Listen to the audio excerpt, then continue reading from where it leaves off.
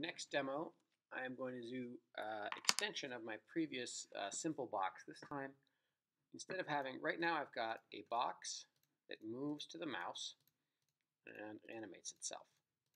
Um, what I would like to make this time, instead of just one box, I'd like to make uh, maybe many boxes. Maybe the boxes um, generate over time, let's say. Um, and I would like the boxes to move independently. So the first step, if you're going to repeat some code, the easy thing to do is to bundle it up in a function. So I'm going to make a new function called createBox. And that's going to contain my add drawing. Now notice at this step nothing happens because my function hasn't been called. Uh, so at this point if I just make a call to create box. My code works exactly the same as it did before. All I did was add a new drawing. Um, and I could make several calls to create box, and I won't see really any difference. Actually, you can kind of see it's getting thicker and moving faster. Now, why is that? Because I've called create box four times, so these update steps are now calling four times because they all share the same variable here, the same box x, box y. So that's the trouble. Um, now, conveniently enough, in JavaScript, functions create what's called a closure. So in a function, any variable that lives in that function um, will will not be accessible outside. So if I take these four variables that I used for my game and I move them inside of the create box function. Now you'll notice it moves at the normal speed because there's, well, there are four boxes, but they're moving. Each is updating its own variable. But the click handler is now broken, right? I don't get an error that the variable is not defined because JavaScript allows you to just create a new variable. So what's happening is this is creating a global variable box x but that's different than this box x variable. So if I want many boxes to move towards the same box, I might have to make a new variable called mouse x and mouse y, and maybe those begin as undefined. Um,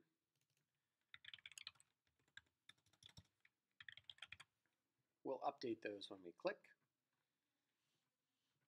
and then we will have to figure out well, actually, we've got a couple things to figure out here. One is, how do I make the boxes not all the same?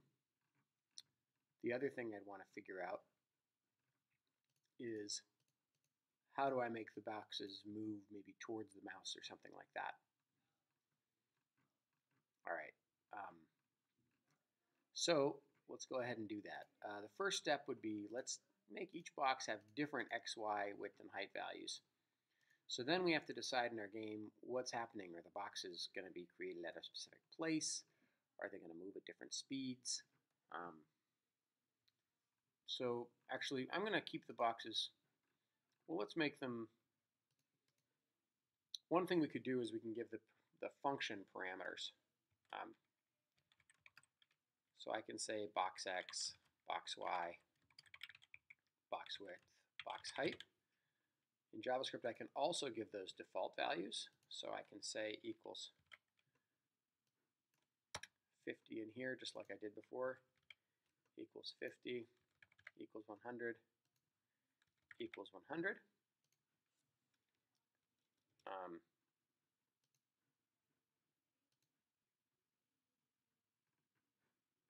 and now, here I could say box x 50, box X 100.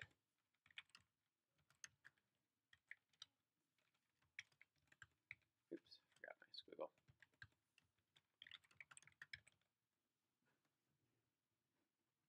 There we go. Now I've got four boxes that are overlapping. Um, and I can add any other properties I want. Um, I could, for example, make this one smaller.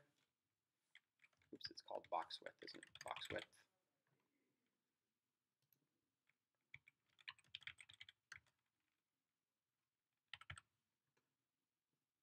Um,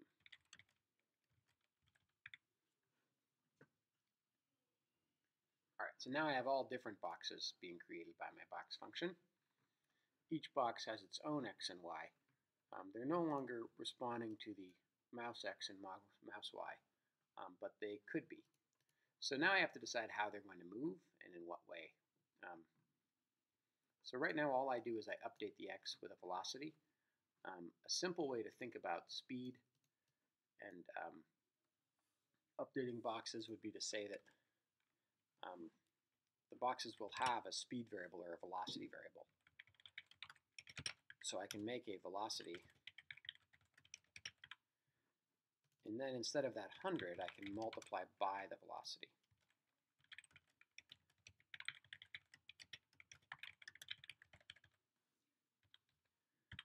Alright, so now the boxes all have a speed, but what speed should they have? Well, let's say the box speed should be proportional to the distance from the box and the mouse. So if I said um, uh, velocity x equals box x, let's say mouse x minus box x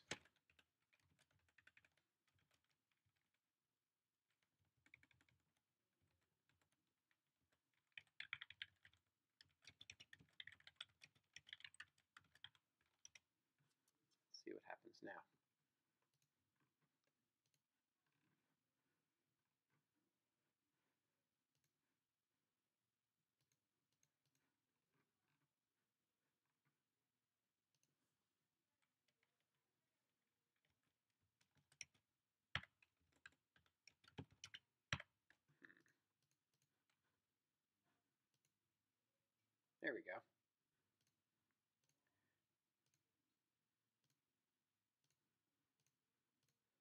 Now they move towards the mouse. Um, let me explain what I just did. I said or zero because um, another way I could have done this is if the mouse x is undefined, then the velocity I want to be, uh, then I'll get not a number, which is a false e value. Um, all right, so that's pretty good. I have all these boxes together, so I might want to add some other logic. Um, one thing I could do is I could just add a little randomness to it. Plus equals math dot random times 20 minus 10. That would be a plus or minus 10. So now there's some like jitter. See, they're kind of moving around there.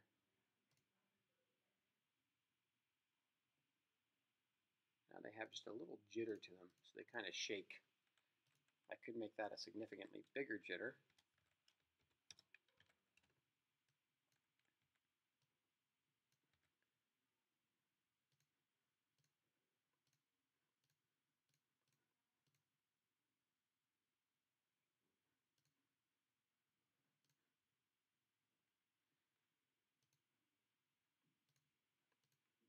And there we go.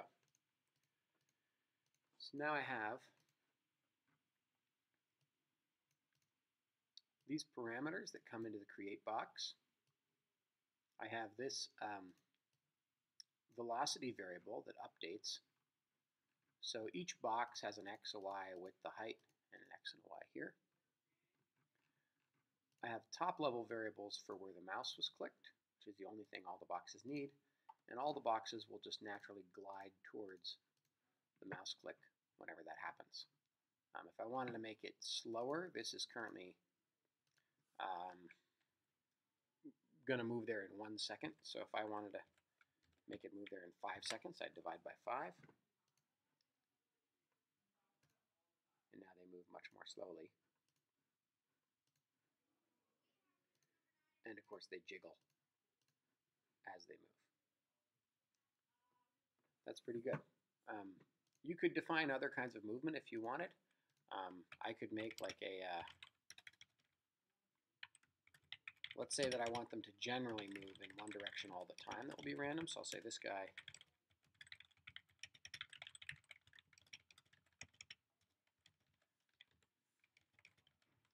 is is going to tend to move in some random direction. So that way, instead of it being random each time, it will be just a tendency. Now these boxes all have their own direction they like to go in. And they float towards the mouse, but they all kind of tend to float away. Now they keep kind of apart, but there's like some order to it.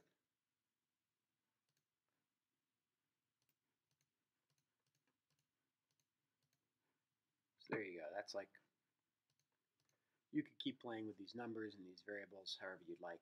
Um, the key thing to understand is that by putting this function and putting these variables inside this function, it's a container. Each box has its own settings, if you would. That's called a closure in JavaScript. Um, and then the variables that are defined outside of the function are global. Another thing we could do if we felt like it is we could create a new box each time the user clicks. Um, so maybe the new box goes at, um, let's say, box X is going to be uh,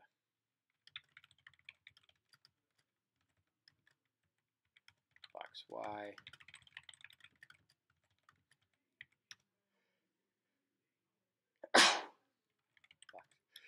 box, excuse me, box width. Ah, random box height.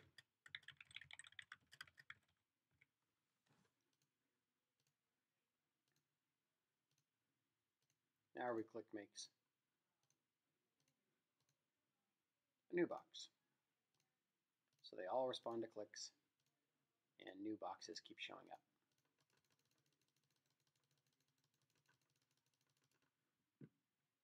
Every box has its own variable, but every box, box responds to the global variable. All right.